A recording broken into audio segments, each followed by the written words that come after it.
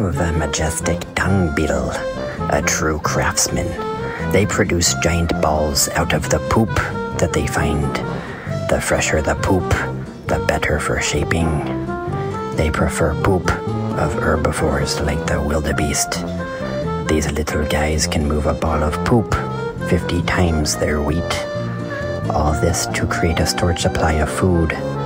That's because these beetles actually eat poop.